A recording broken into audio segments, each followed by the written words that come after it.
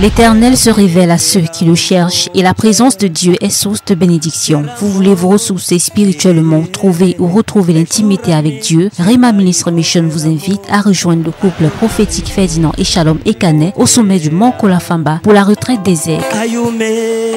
Elle se tient du 10 au 14 décembre 2019 sous le thème Né pour accomplir ma prophétie. C'est un temps privilégié pour prier, méditer et réfléchir à sa vie.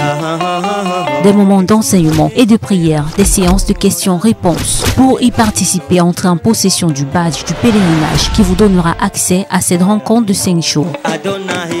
Les badges sont déjà disponibles dans toutes les assemblées Rima Ministre Mission pendant les programmes et les pèlerins devront avoir tout le matériel nécessaire pour le couchage, la toilette et l'alimentation. Ne manquez pas ces 5 jours qui changeront votre vie.